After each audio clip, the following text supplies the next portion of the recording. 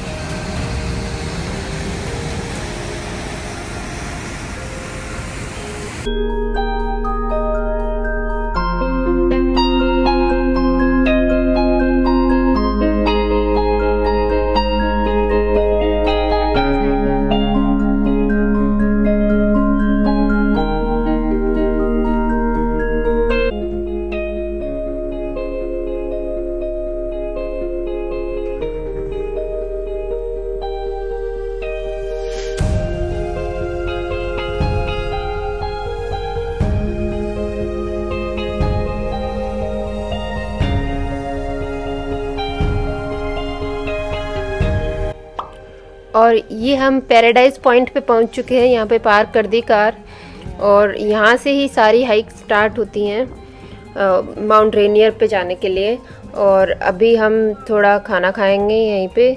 और ये सामने आप देख रहे हैं, ये विजिटर सेंटर है। थोड़ा लंच करके और फिर हम जाएँगे हाइक पे।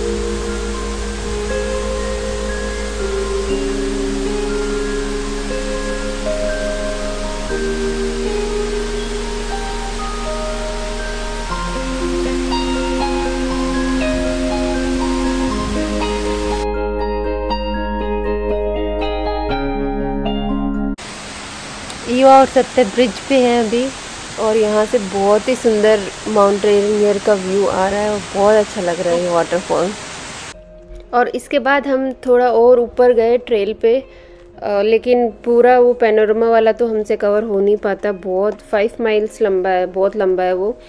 सो फिर हम वापस नीचे आ गए और अभी विजिटर सेंटर पे जाएँगे वहाँ से कुछ सोवेनियर वगैरह लेंगे और फिर नीचे जाएँगे फिर रास्ते में अगर कोई व्यू पॉइंट आएगा तो वहाँ भी रुकेंगे। और ये विजिटर सेंटर में ऐसे लगा हुआ था तो उसमें लिखा हुआ है माउंट रेनियर है वो चौदह हज़ार चार सौ दस फीट पे है। सबसे ऊँचा वही दिख रहा है और कौन कौन से ग्लेशियर्स जा रहे हैं नीचे वो भी दिख रहे हैं। आई I मीन mean, नाम लिखा हुआ है उनका भी यहाँ पे।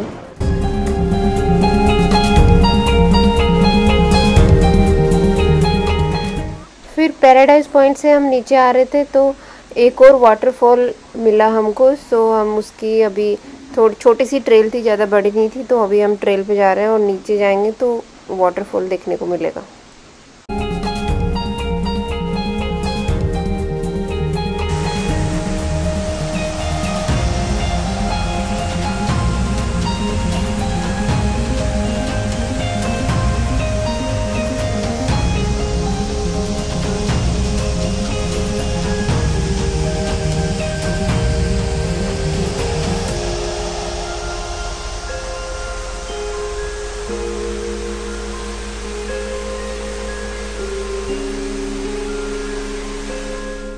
और उसके बाद एक व्यू पॉइंट मिला जहाँ से माउंट रेनियर की फ़ोटो बहुत अच्छी आ रही थी। जो आप पीछे देख रहे हो वो माउंट रेनियर है। बहुत सुंदर फ़ोटो आ रही है यहाँ से। और फिर हम डिनर के लिए एक रेस्टोरेंट है महाराजा करके वहाँ पे गए। अब सत्य रिव्यू बताओ कैसा है? खाने का रिव्यू सत्य बताएँगे। बेलव्यू में आने के बाद में इतना अच्छा खाना नहीं खाया। अभी नहीं खाया ना? रेंटन में नहीं सॉरी कैंट कैंट। कैंट में खाओ। Maharaja. How is the food and it's so fun here and I'm like so happy and surprised. Oh, you like the surprise? Yes. So this was today's vlog. खाना बहुत amazing था। ये पीछे restaurant दिख रहा है आपको महाराजा। कैंट में है। बहुत अच्छा खाना। इतना अच्छा खाना बेलव्यू में कहीं पे भी नहीं मिलेगा आपको। और डे ट्रिप बहुत अच्छी रही। माउंट रेनियर की ट्रिप मज़ा आ गया। एक दिन अच्छा निकल गया हमारा। बस यही है सब आज के व्लॉग में इतना ही। और इसी व्लॉग के साथ में चार वीक में चार व्लॉग आने वाला चैलेंज भी पूरा होता है। और हाँ चैनल को सब्सक्राइब नहीं किया तो प्लीज़ प्लीज़ सब्सक्राइब कर देना जल्दी से जाके। और वीडियो अच्छा लगा तो उसको लाइक करना। और फिर मैं मिलूँगी आप लोगों को अगले व्लॉग में। तब तक के लिए आप अपना ध्यान रखिए। Bye bye take care Bye bye.